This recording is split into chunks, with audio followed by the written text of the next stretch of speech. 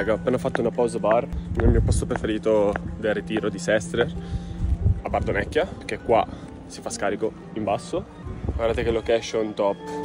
Non è per fargli pubblicità Arals, però ragazzi top, veramente ha dentro di tutto, dai toast a, a tutte le cose più, più interessanti che potete trovare da mangiare.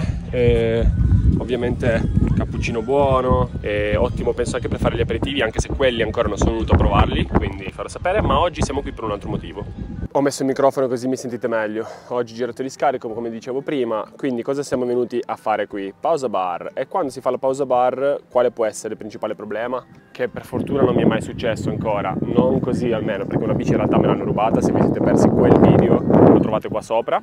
Però quella è tutta un'altra storia ormai sono passati anni Invece al bar è pieno di gente a cui hanno rubato la bici, al bar piuttosto che una fiera o comunque in posti dove tu la bici la lasci lì, pensi che sia al sicuro sott'occhio, poi ti giri e non c'è più. Quindi in questi casi come si fa a evitare problemi di questo tipo, come si fa a evitare che appunto te la portino via? Nel caso in cui qualcuno ci provi a minimizzare i danni e cercare in qualche modo di far sì che non succeda. Allora io personalmente ho due tecniche per, fare, per evitare problemi e stare almeno un pochino più tranquillo, non dico che ti garantiscano entrambi i sistemi di non farti rubare la bici, però ti fanno stare sicuramente più sereno. Nel caso in cui qualcuno provi a rubartela, questo qualcuno si troverà in grosse difficoltà, almeno per i primi 10-15 secondi di tentato furto. Quindi la prima tecnica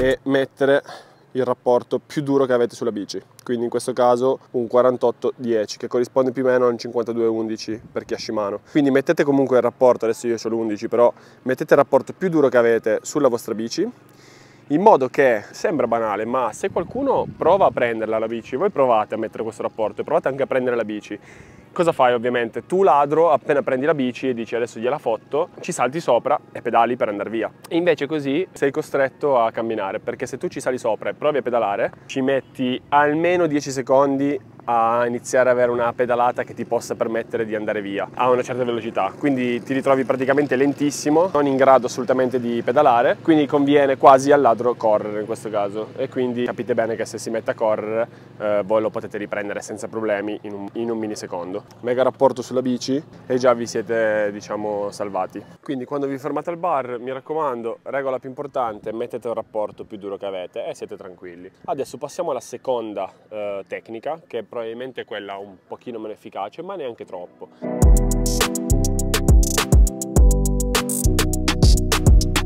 Perché mi sono tolto il casco? Oltre che per abbronzarmi, me lo sono tolto anche per un altro motivo. Perché il casco può essere utilizzato come vero e proprio antifurto. In questo caso qui lo possiamo utilizzare diciamo come catena antifurto, un po' come le catene o i lucchetti che mettete alla ruota della moto o della bici se la parcheggiate da qualche parte. Quindi oltre a mettere il rapportone sulla bici, cosa andiamo a fare? Andiamo a sistemare anche il casco in questo modo. Quindi praticamente avete creato due eh, antifurti su un'unica bici. Infatti voi adesso provate a prendere la bici e ad andare, perché se il ladro non se ne accorge ovviamente parte col casco attaccato e la bici non va avanti, si incastra tutto. Ma anche fosse che se ne accorge, il, il ladro dovrebbe mettersi lì adesso io l'ho agganciato molto in modo veloce diciamo il casco però volendolo puoi agganciare andando a inglobare telaio, raggi, freno e via dicendo. A quel punto il ladro dovrebbe mettersi lì sganciare il casco buttarlo per terra per fare rumore o comunque perdere del tempo. Prendere la bici, partire si troverebbe nella situazione di praticamente essere piantato, non andare avanti, capire anche che cambio ha montato la bici, perché a quel punto tu dici, eh vabbè, metto un rapporto agile, sì, ok, questo è uno SRAM per esempio, devi utilizzare entrambe le mani per mettere il rapporto agile per togliere il 48, se è Shimano devi, devi usare solamente la leva di destra e eh, devi comunque conoscere il cambio, specialmente se è un cambio elettronico, quindi non facile, se proprio volete essere sicurissimi, piccola chicca finale, mettete il rapportone, mettete il casco e togliete la batteria a uno dei due rapporti, in modo che lui prende la bici e non può neanche cambiare rapporto. A quel punto parte, cioè è costretto a fare almeno 20-30 secondi di diciamo rapina a mano armata senza muoverla, senza andare avanti. Molto sicuro, sono piccole accortezze che però se siete in un bar dove la bici la lasciate come qua un po' lontana e non potete averla sempre sott'occhio, molto molto comodo e molto efficace a mio avviso. Quindi adesso io sgancio il mio antifurto e via. posso prendere la bici e ripartire.